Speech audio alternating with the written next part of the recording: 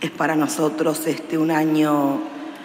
trascendental porque estamos atravesando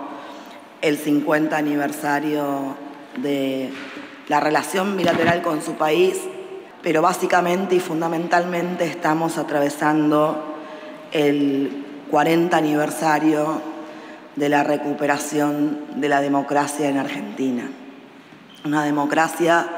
que nos costó muchas vidas, una democracia que nos costó recuperar, pero que el conjunto del pueblo argentino hizo todos los esfuerzos junto a la dirigencia política para lograr consolidarla, a pesar de la distancia geográfica que nos separa y de las barreras idiomáticas,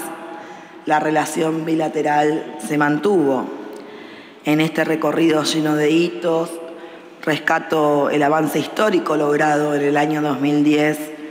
con la firma del convenio de asociación integral, el cual ordenó la agenda de trabajo en base a tres ejes claves, el diálogo político fluido, el intercambio comercial y también la cooperación técnica. Señor presidente, Vietnam es un socio estratégico para la Argentina y un aliado clave de nuestro país en la región. Es actualmente nuestro quinto socio comercial, gracias a un intercambio de bienes y de servicios que ha crecido de forma sostenida en los últimos 20 años,